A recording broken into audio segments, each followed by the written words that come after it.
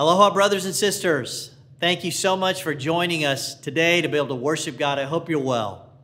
Last Sunday, we were treated to hear from Dave Pikert preaching about having faith in the storms. And I am grateful for him sharing his life and the storms that he and Sarah have gone through this past year. It has not been easy for them. In only a God way, and I told Dave this, but uh, their faithfulness spurred on my faithfulness to stay focused on Jesus. Even if Jesus is still sleeping in the boat, he's got everything under control. Uh, Dave, if you're watching, thanks for encouraging the church. Grateful you guys are taking some time here in Hawaii. Uh, you're home away from home. Okay, I want to just take a, a few moments here to stop and pause and pray. So I'm going to leave a few moments of silence, and I want to encourage each one of you to just think of one word that will help prepare you for worship. So let's bow and have a word of prayer.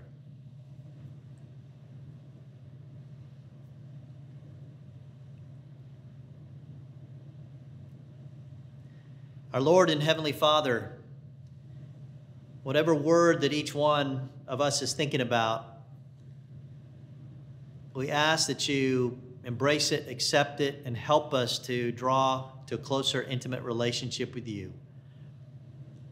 Thank you for the privilege of being able to learn from your word, to lift up our hearts and our minds, and just the help that we need to prepare ourselves to honor you. Thank you for directing us and guiding us through your holy scriptures. In Christ's name we pray. Amen. I'm not sure what word you thought about.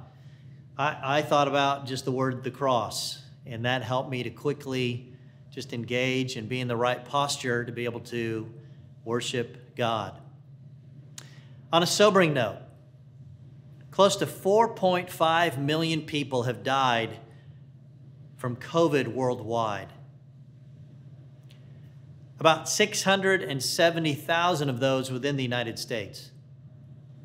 In addition to the deaths, close to 225 million people have contracted the virus. But that's not all. Because of what's happened, there's economic fallout from the virus. Some experts estimate that as many as 40% of small businesses have closed permanently during the pandemic. Unemployment rates have skyrocketed over this last year. People have lost their life's work in the span of just a few weeks. There's also been psychological consequences. Mental health is a great concern these days. Suicide rates are rising. So are the rates of people suffering from drug and alcohol addiction. Domestic violence cases have soared to new heights as families have been forced to spend extended time together with no outlet for the pressures of being confined for a long period of time. It is it has been truly a dark time for our world and a challenging time for the church, no question about it. Brothers and sisters, I share these things because I want us to stay sensitized. I want, I want to stay sensitized because the world is truly hurting. And this is absolutely a storm for our world, and it's difficult to know when things are going to let up. Now, you may be going through your own personal storms. What I do know is that as people of faith, we don't have to settle for bad news. We have a secret weapon that keeps us encouraged. Our hope comes from God, and He's the answer to help us through any storm. So, where do we go from here? That's a question I asked myself and for the church. Two weeks ago, we talked about learning from the first century church and what they did that could help us today.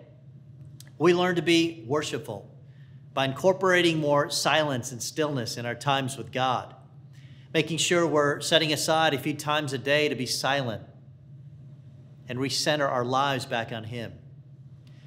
Psalm 46:10 says, "Be still and know that I am God. I'll be exalted among the nations. I will be exalted in the earth. It's so important for us to stop and still our hearts and our minds during the day. Just to be able to be silent with God can bring a lot of strength and direction to our lives. So, how have you done this past week?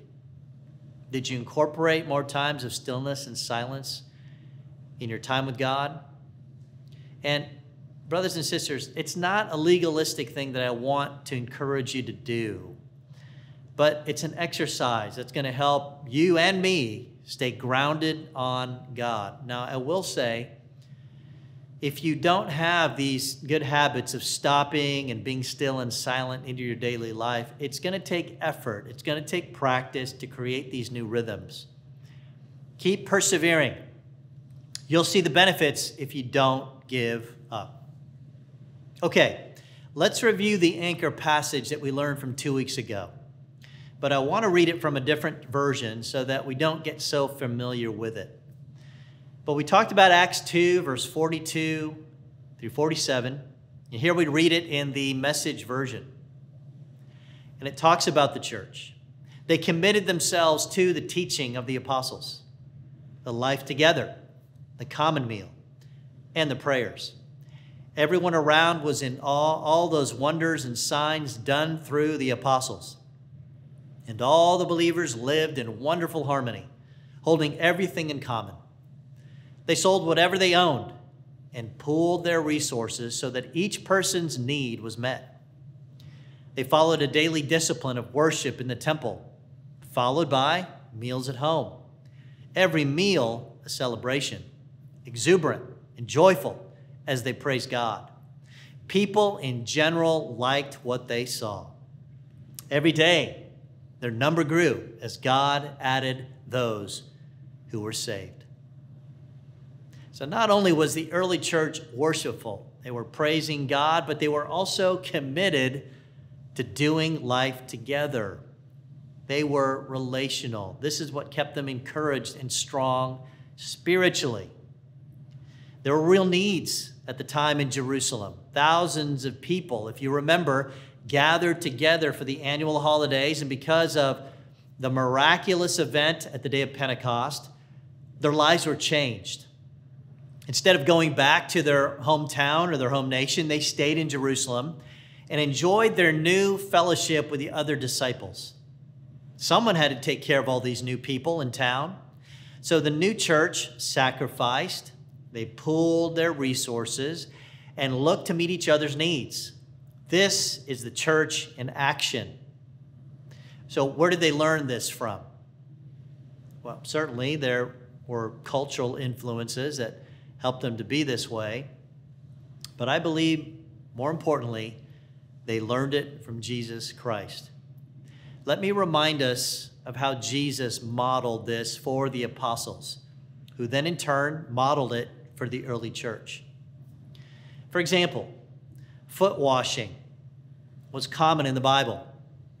People traveled mostly on foot, in sandals, in slippers, across the dusty roads of Judea.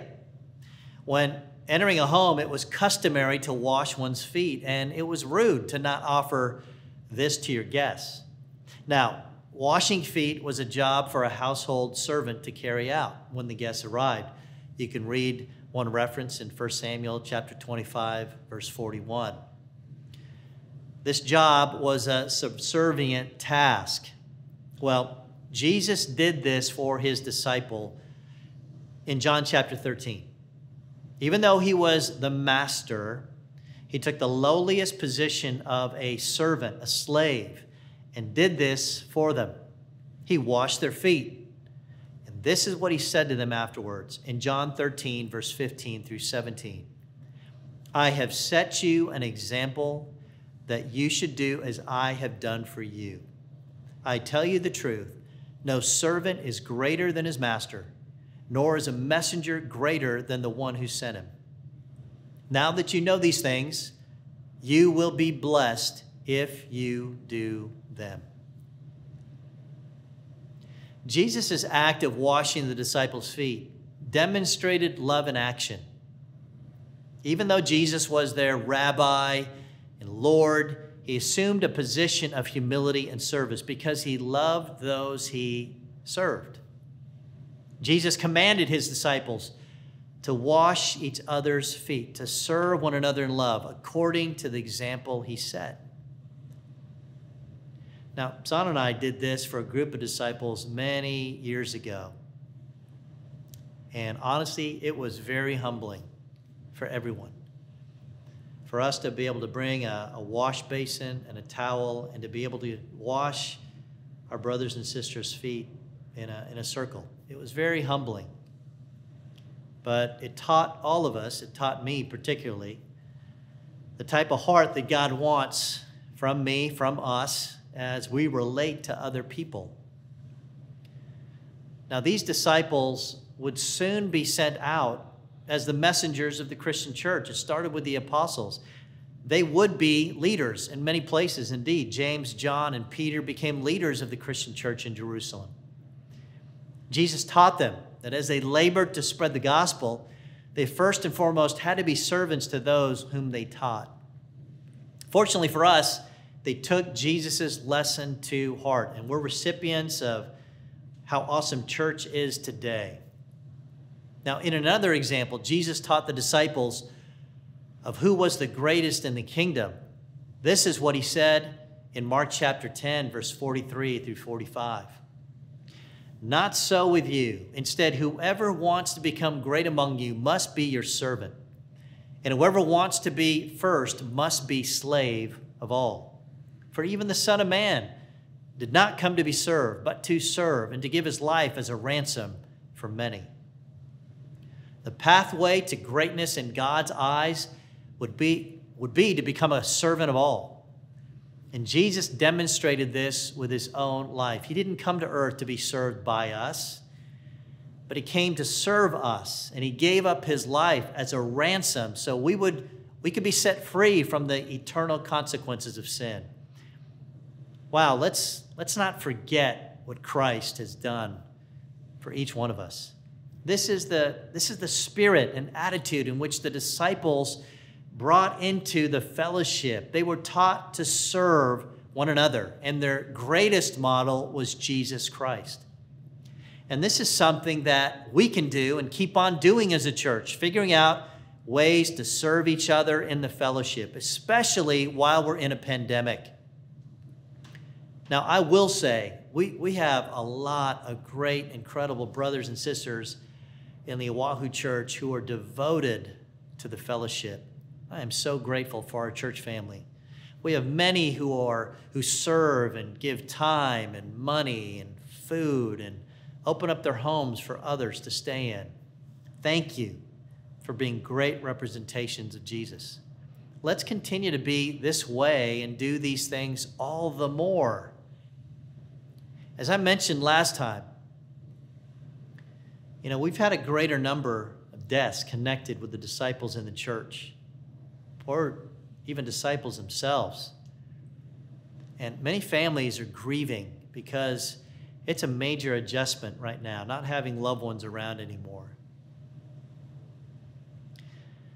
Thank you to the many families who have stepped up to provide meals to these grieving families. I appreciate you going the extra mile to serve and meet some needs. A family I want to be able to lift up is Mike and Gwen Jones, along with their three boys. Over the past several years, they've gone the extra mile serving and loving a brother named Greg Ventayan.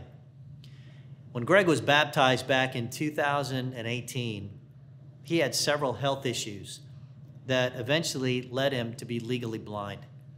His hospital visits were frequent because of his health challenges, most especially him dealing with heart complications.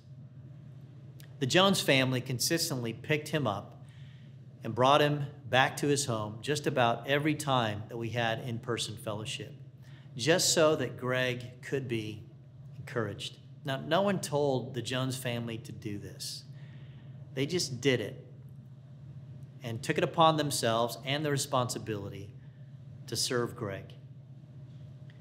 Now, sadly, Greg recently passed away. God took him home. And he's certainly in a better place. And at the same time, I'm thankful the Jones Ohana served him in his last days. Thank you, Mike and Gwen and the boys. Another person that I wanted to mention was my wife, song. And I really appreciate her because, uh, honestly, she's such a great example to me of someone who serves. She's always cooking for other people, looking for ways to encourage others in the church. She's incredibly thoughtful. And we just celebrated our 32nd wedding anniversary, and I couldn't be more grateful for her. She absolutely makes me a better person, a better man, a better husband, because she helps me to do things that I wouldn't do naturally left to myself. I love you, honey, if you're watching. I hope you're watching. I want to mention one of the kids in our church in connection with this and my wife. And uh, this child is her name is Adele Rue, daughter of Voter and Sarah Rue. And Adele is five years old. She's in kindergarten. But last week, she mailed a hand drawn card to Son to encourage her, knowing that Son's eldest brother passed away recently. Uh, here's a picture of the card, and that's Adele's drawing. Isn't that adorable? Now, that's Son on the front. Can you see the resemblance? I can. We can. Adele, if you're watching, thank you for the card for Auntie Son. She was so encouraged by it. And Adele, we have it on our refrigerator. Cards on the refrigerator really mean something. And yours made it. Thank you. You see, we don't we don't always have to be together in person to serve one another. We could send a card, we could send an encouraging text, or even drop off a meal, like many of you have been doing. That's meeting needs and serving one another. Amen. How else can we be devoted to the fellowship and be relational? We can connect with an Ohana group you know, right now, we may not be able to meet as a larger congregation, but I am so thankful that we can keep meeting in smaller groups. I'm very grateful for the group leaders who continue to serve over the past several years, especially during a time like this. Thank you, thank you, thank you. I'm thankful for the many groups that are meeting all over the island. Grateful that you're taking care of each other. You know, in Hebrews 10, verse 24 and 25, the Bible says, And let us consider how we may spur one another on toward love and good deeds. Let's not give up meeting together as some are in the habit of doing, but let's encourage one another, and all the more as you see the day approaching. Honestly, it takes more considering and more creativity to figure out how to spur each other on in our current paradigm.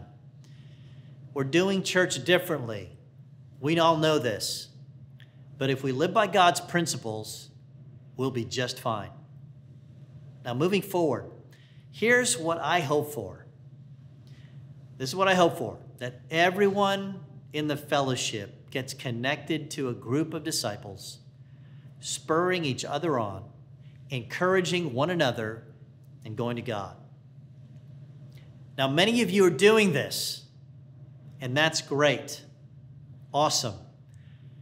I want to encourage all the rest who are not connected. Please seek out a group.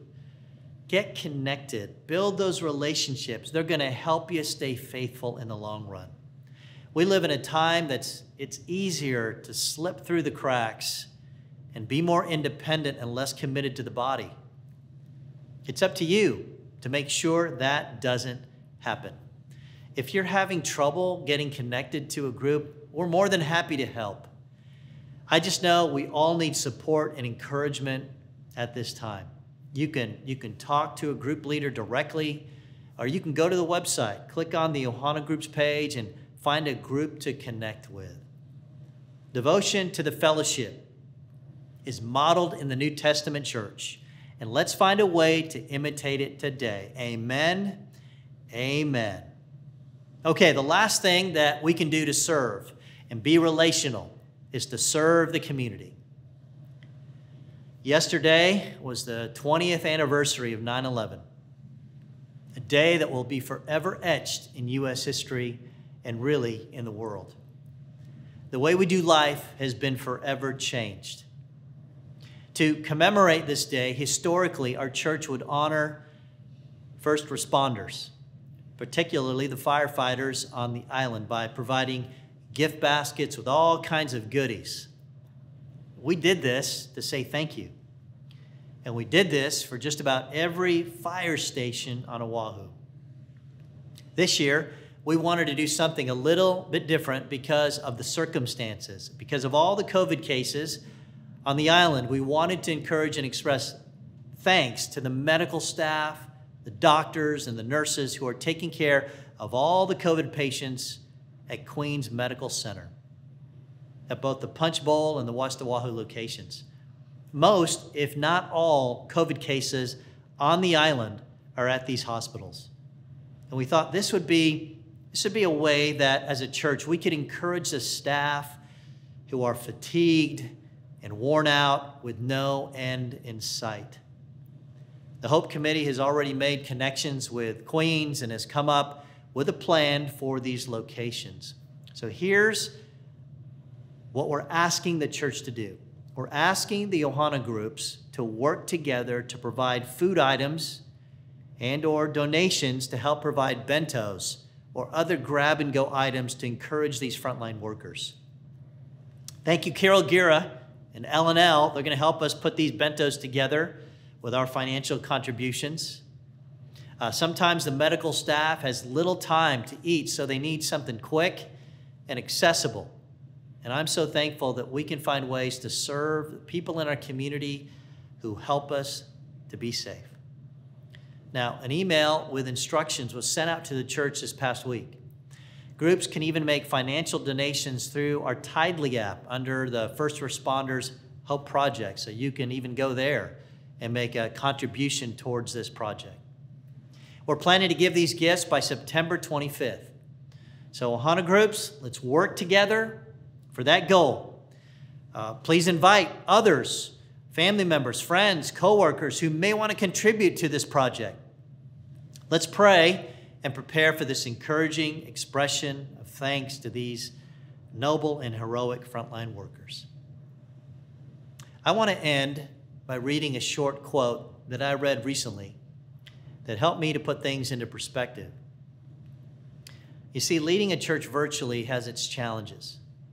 Many things have changed, but the needs of the church and community remain and have grown. I was encouraged reading something about Mother Teresa. In 1952, Mother Teresa began picking up the dying in the streets of Calcutta, India. By 1980, she and over 3,000 members of her order, the Missionaries of Charity, were working in 52 countries.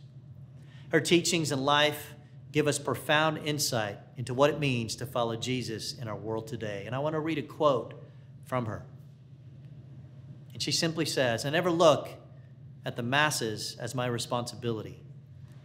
I look only at the individual. I can love only one person at a time. I can feed only one person at a time, just one, one, one. You get closer to Christ by coming closer to each other. As Jesus said, whatever you do to the least of my brethren, you do it to me. So you begin. I begin. I picked up one person. The whole work is only a drop in the ocean. But if we don't put the drop in, the ocean would be one drop less. Same thing for you. Same thing in your family. Same thing in the church where you go. Just begin. One, one, one. At the end of our lives, we'll not be judged by how many diplomas we've received, how much money we have made, or how many great things we've done. We will be judged by I was hungry and he gave me to eat. I was naked and he clothed me. I was homeless and you took me in. Now, Mother Teresa is quoting from what Jesus said in Matthew chapter 25. Wow, what incredible thoughts. Just love one person at a time. Don't be overwhelmed with the numbers of people or the numbers of needs. Just love one person at a time. We can all do this. I can do this. You can do this. We can all love one person at a time. We can fight hard to be like Jesus to one person at a time. So, who can you love this week? One person at a time. That's great advice for you and for me. Brothers and sisters, let's look to serve others, just like Jesus. Connect with our Ohana group this week, and let's do a great job encouraging the staff at Queens Medical Center. God bless. Before you go, don't forget to like, share, and subscribe. You can also follow us on social media and find the link to our connection card down in the description below. Thank you so much for joining us. Have a great week, and we'll see you next time. Bye!